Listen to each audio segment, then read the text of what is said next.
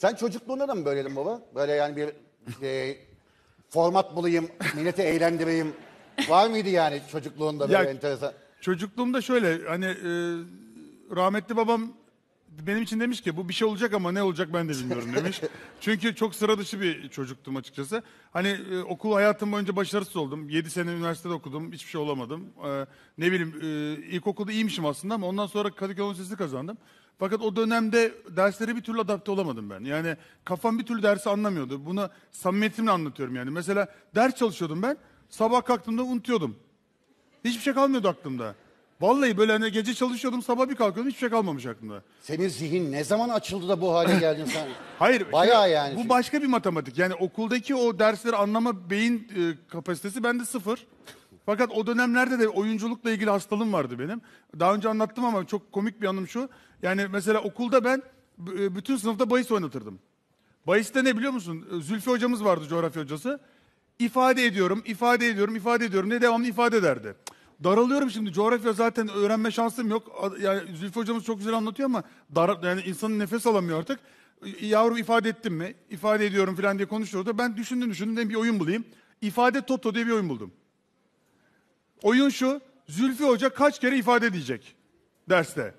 Herkes bastı paraları. 80, 85, 90, 95. Zülfü Hoca derse girdi. İfade ediyorum diyor. Şöyle bir ses çıkıyor. Oo diye bir ses çıkıyor. Değil mi? Herkes böyle kurt gibi hocaya bakıyor.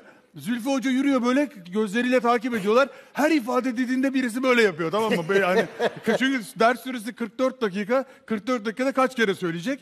En son bazıları tabii oyun bozanlık falan yapmaya başladı. Hocam ne ediyorsunuz duyamadım diyor. İfade ettim ya diyor. Çocuk böyle yapıyor biliyorum diye. Yani hayatım bir şekilde oyun oynatmakla geçti benim. Sen bu- yani belliymiş senin. bu- Yani Zülfü Hoca şu anda senden para istese yeridir yani hani. Adamcağız gerçekten de. Yani e, oyuna kafam bir tek çalışıyordu. E, ve bir tek oyun e, yani bizim evi polis bastı ya. Yani düşün o zamanlar. Oyun oynatıyorsun diyor. Aynen. Yani şey niye bu kadar adam bir evdesiniz diye polis geldi. Bayağı operasyon yaptılar eve. Yani sağdan soldan polisler girdi. Çünkü turnuva yapıyordum o zaman. Bütün gençler bizim evdeyiz. 20 kişi vardı evde. Evin salonu zaten 30 metrekare. Ne turnuvası yapıyordun abi? King turnuvası yapıyorduk. King kağıt Ha, var King ya. kağıt, evet. aynı anda dört kare dönüyorduk. Ondan sonra polis tabii geldi bir şey bana. Hepimiz öğrenciyiz. Herkes normal kimliğini gösterdi ama yani o zaman da mesela hep oynatandım. Şimdi Allah yüzümüze baktı. Hani özel televizyonculuk başlayınca şimdi de aslında oyun oynatan e, kimliğindeyim. Hep bir oyun oynatıyorum. Bundan da çok zevk alıyorum. Yeni format geliyor mu? Yeni bir şey.